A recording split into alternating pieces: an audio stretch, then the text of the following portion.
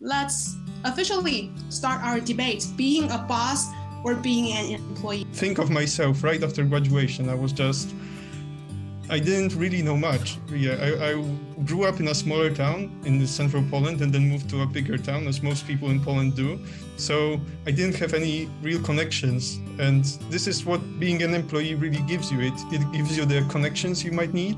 It gives you the experience you can learn from the more experienced people for fresh graduates, I think safest bet is just to work for another company and learn as much as you can, uh, make a good impression. Yeah, it will just be a great for, thing for you in the future. Uh, when you're talking about having just graduated, you really want to be optimizing for learning.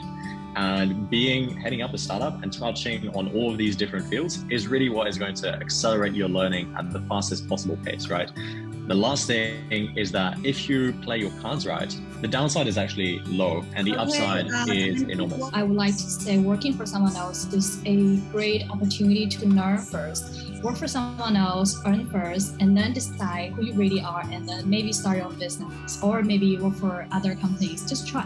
I would like to also look at you know the, the past couple of years. So I, I, graduated not that not that long ago. The coronavirus situation really hit the job market by, by then.